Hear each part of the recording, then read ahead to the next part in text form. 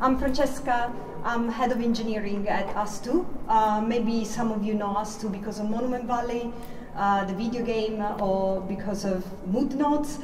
Um, well, we don't do just games. Uh, we are actually a digital product studio, and we have about four studios around the world. Not only in London, where we have our game based, but also in Malmo, in Sydney, and in New York. So we are quite diverse. And we don't do just games, we also launch products, services, and companies that have a meaningful impact into the world. So we try to see technology with the lens of human being and how technology can impact their lives. Um, while, while we do that, um, we do that not only with our own IP as uh, MoodNote or Monument Valley, but we also do with the clients and also with ventures. Uh, when I talk about ventures, I think about DICE. Uh, some of you might have used DICE to buy ticket. Um, it's uh, DICE started as a part of ventures under under ustwo, but now they are uh, big and grown up. Um, so in terms of my prediction, uh, the first one I have in my mind is uh, digital twins. Um, maybe some of you have already known this term. It's basically a virtual representation of a physical object or process or system. And uh, as a technology is not very new, uh, it's back in 2002. Um, but actually, no one, no one went into a production system with, with this technology because IoT devices were not that widespread and it was not cost efficient.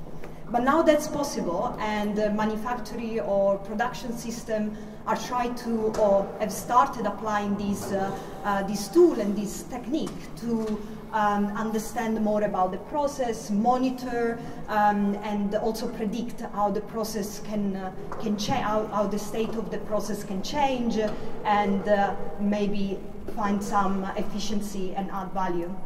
Where I find this uh, evolving is uh, um, when it comes to health. I don't know how many of you, maybe raise your hands, have uh, more than one device that track your heart rate or your steps right now?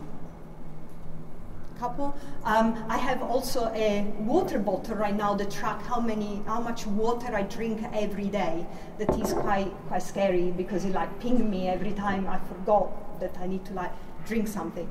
Um, so if you think about the amount of data we have with these devices connected to us, this is the first start of what can be a digital twin. So someone on the other side, maybe a GP, maybe a doctor, can have a constant understanding of what's going on in your body. So my question will be, what with this data people can do to actually uh, monitor uh, your, your state and predict possible like state change of your body. Um, another one that interested me particularly is edge computing. Um, in my previous company, we did a lot of work to actually move into the cloud, and we thought, okay, done, we moved to the cloud. Well, um, I think that's just the beginning. Um, what we are what I'm seeing more and more, for example, company like Cisco or HPE, they are trying to move away from this idea of having uh, one single cloud and try to distribute. Uh, also, thanks to um, IoT devices being widespread in every single things that we have around us.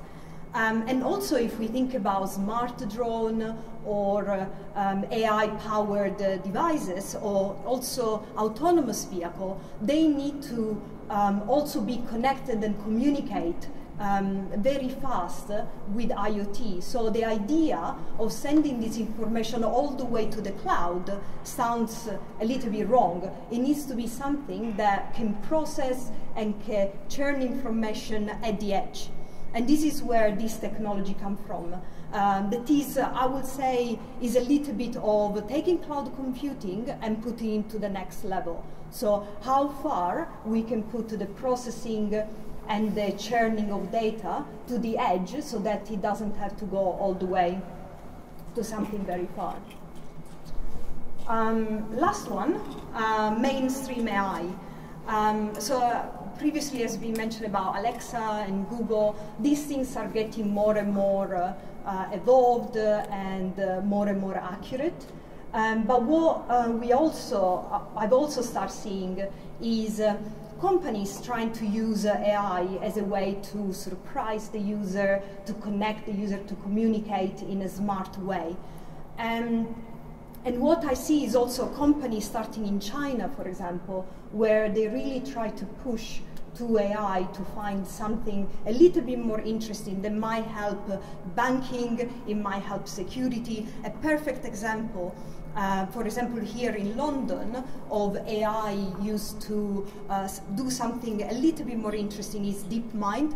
Maybe you have heard of it, it. Is a um, health part of a big Google group, and uh, they have used the power of AI to actually predict and monitor um, um, acute kidney injuries. So this is an injury maybe a little bit boring, but it's a little is an injury that affects 40,000 people every year in UK, and uh, a quarter of these people could have been saved because uh, if there were enough technology, enough prevention. And uh, uh, DeepMind right now are trying to um, use uh, the, the data they collect from patients to actually prevent and give some information to the doctor to actually be on time to, to cure the patients.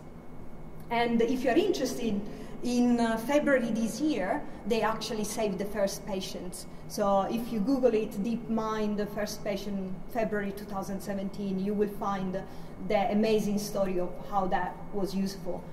So what I see coming in um, 2018 in terms of AI is actually go a little bit broader than just like experimenting with it and just try to do little things, but be a little bit more immersive into banking, into security, into health, and go to the root of what does it mean bring uh, intelligence into things. That is not just about accumulating data and accumulating insight, but is also about learning, about understanding, and also from that make a judgment.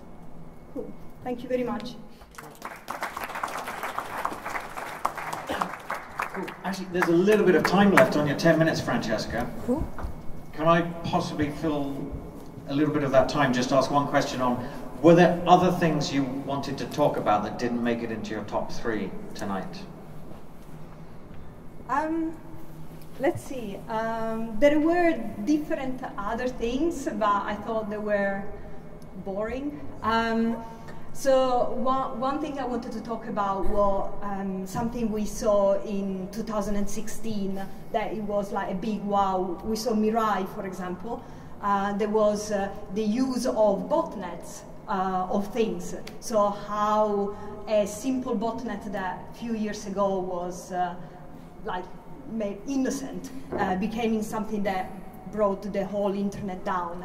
And now, in 2017, we already have a clone of that Mirai that are impacting uh, things out there, like IO, IoTroops or Reaper, if you are a fan like me of security. And uh, they are already spreading the internet, and no one is talking about it. And in 2018, that can be the next Mirai, and no one is talking about that. So an eye on security, and especially on IoT, um, it, it, was something that should be the focus of 2018 because nothing has been done uh, since Mirai and the virus are out there. Cool. Cool, thank you. Um, so,